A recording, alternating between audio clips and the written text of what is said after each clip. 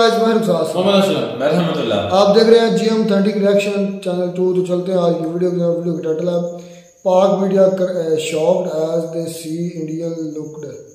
यानी कि उनकी जो प्रोग्रेस है या उनकी जो डेवलपमेंट वगैरह देख के डिजिटलाइजेशन देखते हुए वीडियो। फिर देते इस पर रिएक्शन कोलकाता शहर। के बारे में ये कहा जाता है कि इसमें जो सिटी ऑफ़ जो है इसको बोलते हैं। ब्रिजेस हैं वो बड़ी तेज़ी से बन रहे हैं और मेट्रो अंडरग्राउंड मेट्रो है। और बहुत खूबसूरती है इस शहर की। कोई पान वाला खोखे वाला हर एक ने ऑनलाइन सिस्टम रखा हुआ है। यानी डिजिटलाइज हो चुका है इंडिया सर क्या बहुत आगे चला गया हुआ है।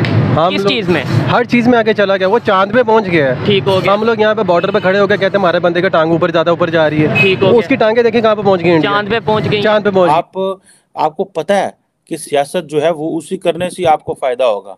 आप अपनी सियासत करें। आपको क्यों आप क्यों रोते हैं और क्यों चिल्लाते हैं और चीखते हैं और ये करते हैं? ये बड़े खूबसूरत मनाजिर आप देख रहे हैं। वेस्ट बंगाल के शहर कोलकाता के। नाइट लाइफ है कोलकाता की। रोड ट्रिप आपको दिखा रहे हैं। इकोनॉमी जहाँ पर उनकी पहुँच चुकी है कि जनाब थर्ड लार्जेस्ट कंट्री होने की बात कर रहे हैं थर्ड लार्जेस्ट इकोनॉमी बनने की बात कर रहे हैं मोस्ट पॉपुलस कंट्री वो बन चुके हैं। इसके अलावा पूरी दुनिया में उनकी स्टे है हर कोई उनकी बात सुनता है उनकी बात कोई रिजेक्ट नहीं करता। चेन्नई अच्छा रहा यादगार रहा कभी नहीं भूलेंगे। पर्सनल ताल्लुक और मज़हब की बुनियादों के ऊपर आप जो है वो सारा निज़ाम चलाते हैं। कौन दुनिया में ऐसे करता है यार?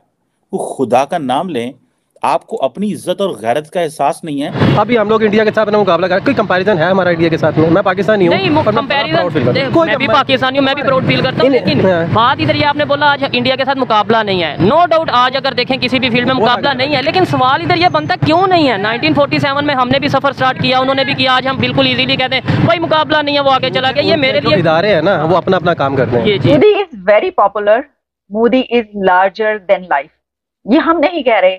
ये कह रही हैं मोदी के ओपोनेंट जय हिंद दोस्तों। दोस्तों, वैसे तो पाकिस्तान से कई लोगों को अलाउ ही नहीं किया गया आने के लिए भारत में 2023 वर्ल्ड कप के लिए। लेकिन दोस्तों, कुछ जो सीनियर जर्नलिस्ट थे, पत्रकार थे, उनको आने की इजाज़त दी गई। क्योंकि दोस्तों, वो पत्रकार है, आके रोड पे और भी तमाम जगहों पे कवर करते हैं कि भारत की व्यवस्था कैसे। है अब दोस्तों, जब वो रेलवे स्टेशन पे गए भारत के, उसको देख के हैरान हो गए। मेट्रो देख के वो हैरान हो गए, लेकिन जिसे देख के सबसे ज़्यादा हैरान हुए वो यूपीआई है। दोस्तों यूपीआई देख के पाकिस्तानियों की आँख फटी की फटी रह गई। और दोस्तों, है ही यूपीआई हमारे देश का खुद का बना हुआ है, जो हम स्कैन करके पेमेंट कर देते हैं। आजकल देखते हैं, छोटे से छोटे दुकानदार यूज़ करता हुआ नज़र आता है। और ये दुनिया का भविष्य है दोस्तों। आज भारत में इतने हंड्रेड ऑफ़ करोड़ से ज़्यादा लोग इसका यूज़ कर रहे हैं। भविष्य में पूरी दुनिया करेगी। और इसी तरह भारत का नाम पूरी दुनिया में जाएगा कि भाई यूपीआई मेड इन इंडिया और भी बहुत सारी चीज़ें हैं भारत में। भारत की सुंदरता, भारत की एकता।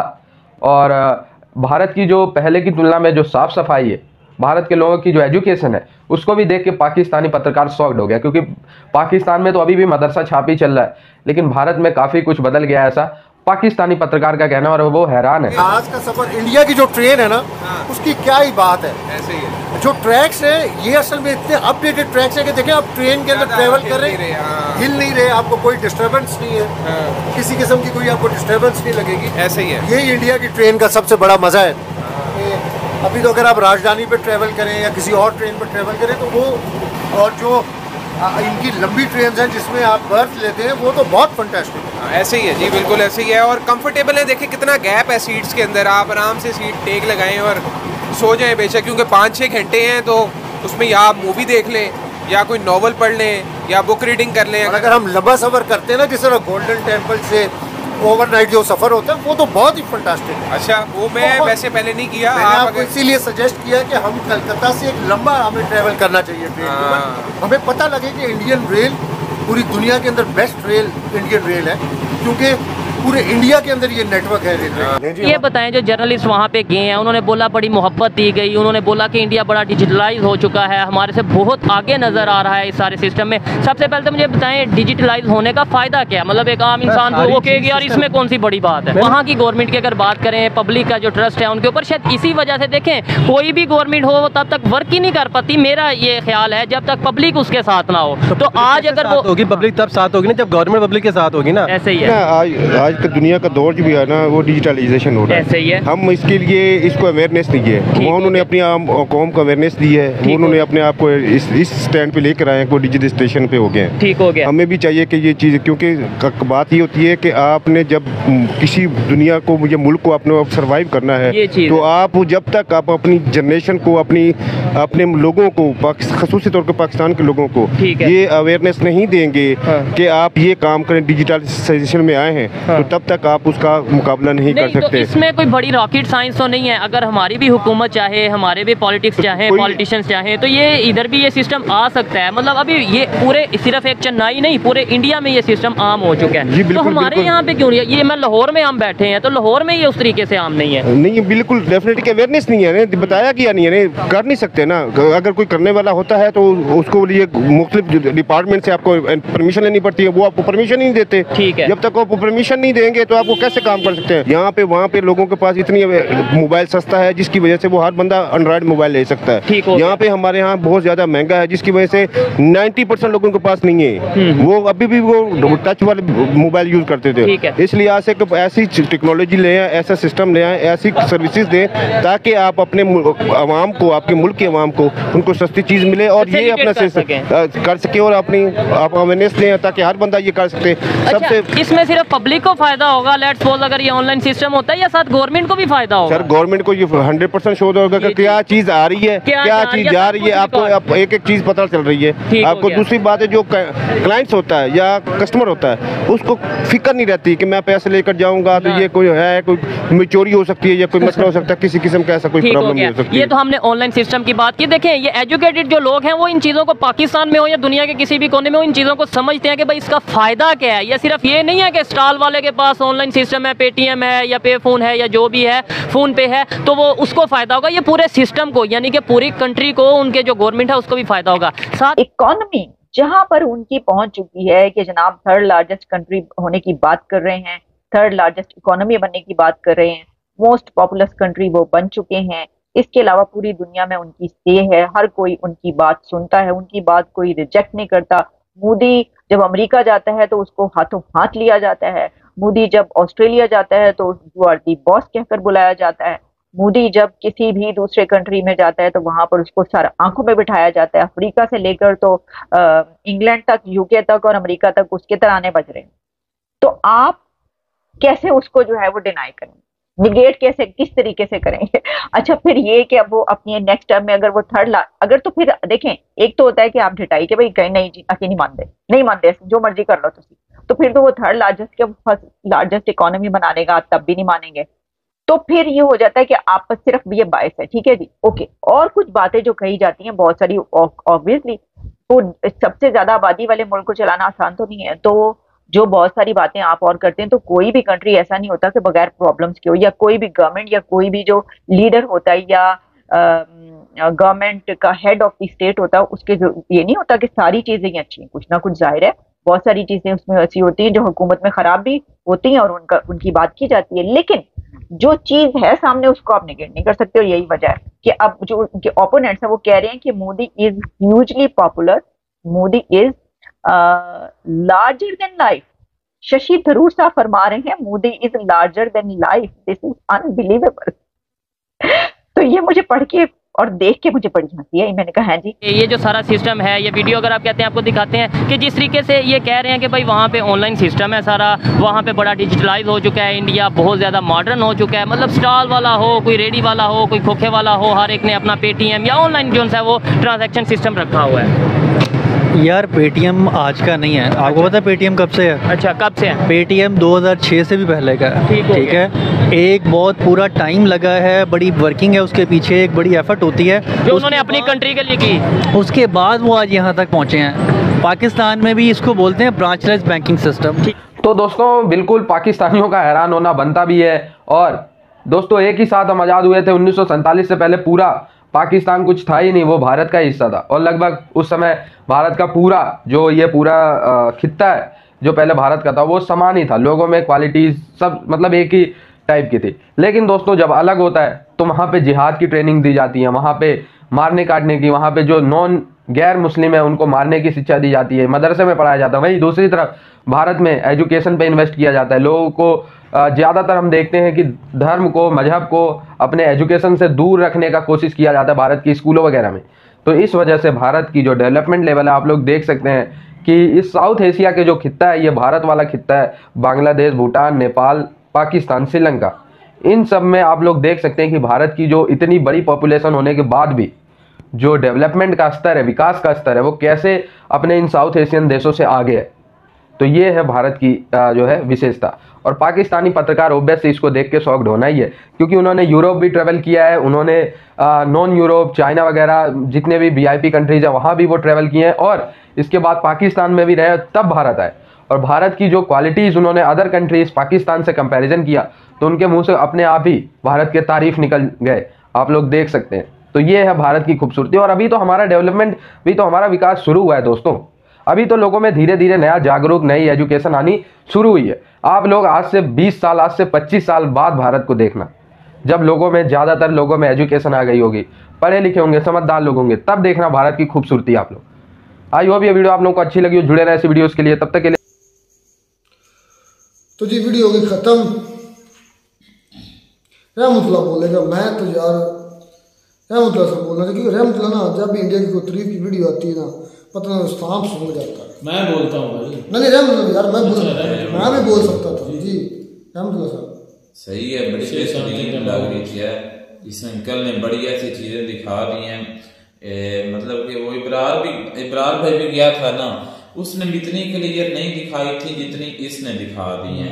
आम लोगों में बैठ कर मिलजुल कर चल फिर कर जो है ना इसने दिखाया।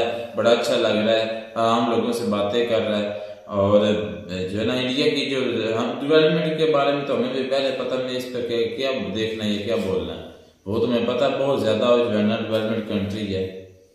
मैं जैसे ज़्यादा इंग्लिश तो मुझे तो पता है, इसमें कोई डाउट हुई तो बात नहीं है। अच्छा खैर, ये तो वाकई कन्फर्म बात है भाई पूरा इंडिया जो है डिजिटलाइज हो गया है। और बहुत ज़्यादा आगे जा चुका है। और एक भाई जो हमारे इधर मेरे ख्याल में थे, शुएब चौधरी, उस भाई से पूछ रहे थे कि भाई, इंडिया और पाकिस्तान में डिफरेंस बता दें। तो उन्होंने कहा कि भाई, इंडिया तो हमसे बहुत ज़्यादा आगे निकल गया और हर लिहाज से है। ये नहीं कि एक किसी, एक महकमे में या किसी एक जगह पे, हर लिहाज से वो हमारे से आगे है। हम तो सिर्फ़ बार्डर पे बॉर्डर पे खड़े होकर तो एक टांगे उठाते हैं फौजी जो हमारे होते हैं कि देखते हैं हमारी टांग कितनी ऊपर गई है। तो असल में जो टांग है ना वो इंडिया के बहुत ज़्यादा आगे चली गई है। वो पूरे पूरे ऊपर जा चुके हाँ। वो चाँद पे पहुँच चुके हैं और हमारे जो है वो अभी तक यहीं पे घीसी कर रहे हैं। तो खैर जो भी है इंडिया भाई बहुत ज़्यादा मतलब भाई अब घीसी का घीसी का मतलब है कि वो जब बच्चे को जो करवाते हैं आप समझ गए होंगे गोल नहीं इनको पता अभी नहीं पता मैंने की है। तो यार इसी ना यार बड़ा इंटरेस्टिंग को इशारे का भी है भाई जो समझदार है उनको पता चल गया होगा। अच्छा एक मिनट मुझे नीचे कमेंट में बताया राम लग रहा सबको पता है। यार ये तो बता घीसी का किसको पता है? यार आप देखने वाले कहीं होंगे जो हमारे तरह ही और कांग्रेस में देख रहे हैं? उर्दू मीडियम ज़्यादा है भाई पंजाबी नहीं है पंजाबी मीडियम को नहीं इस्तेमाल अच्छा किसी बता देते हैं जब बच्चा छोटा कोई पेशाब करता है ना तो पैम्पर की जगह पे देसी माए होती है ना वो उसको ऐसे ही ज़मीन पर खेच के तो वो साफ़ कर लेती हैं। उसको घीसी बोलते हैं सादा से लफ्जों में मतलब कि बात का मतलब ये है कि ज़मीन पर रगड़ता है। रगड़ने को बोलते हैं तो हम जैसे ज़मीन पे रगड़ रगड़े खा रहे हैं ऐसे ही है हमारा हिसाब। इसे कहते हैं? घीसी इंडिया है वो इंडिया भाई डेवलप हो गया बहुत ज़्यादा वो चाँद पे चला गया। उस भाई का भी कहना ये था और मेरा भी कहना यही है। तो जी। अब रहमतुल्लाह ने तो खैर इस पर बहुत नहीं करने।